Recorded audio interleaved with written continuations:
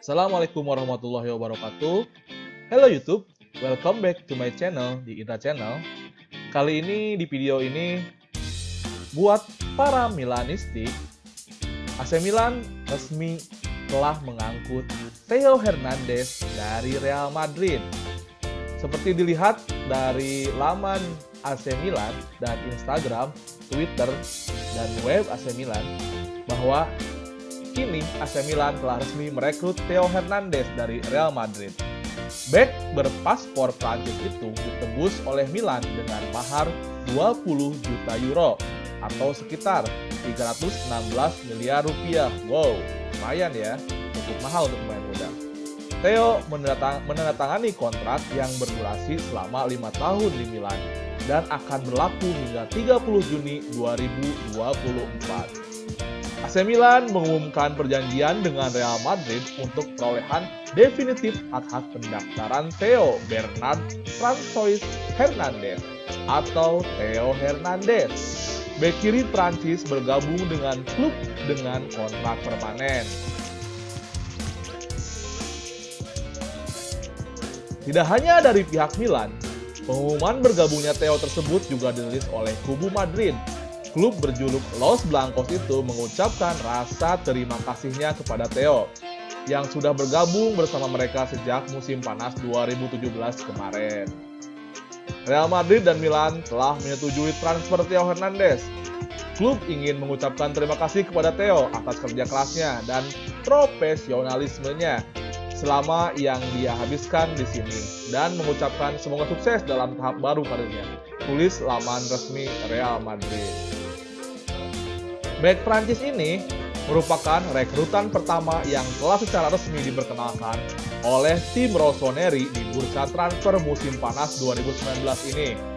Selain Theo, Milan sebenarnya sudah membuat kesepakatan dengan dua pemain lainnya, yakni Red Krunik dan Ismail Benanser dari Empoli.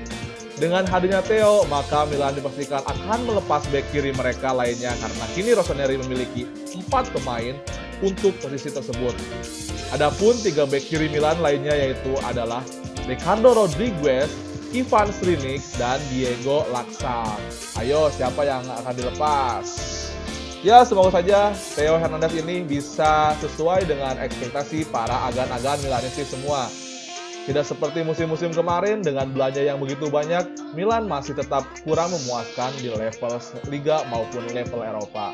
Semoga musim ini Milan lebih baik lagi. Forza Milan!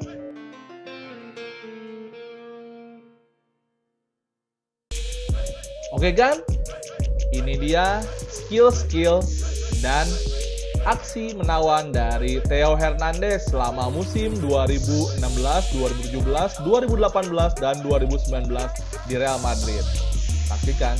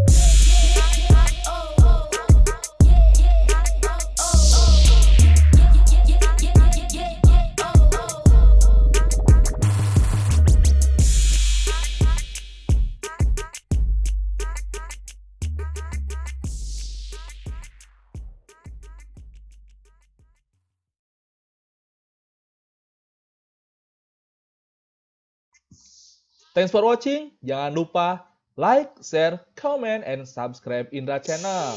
Dan aktifin loncengnya untuk update-update video terbaru dari Indra Channel. Subscribe itu gratis ya kan? Atur nuhun. Assalamualaikum warahmatullahi wabarakatuh. Indra Channel pamit.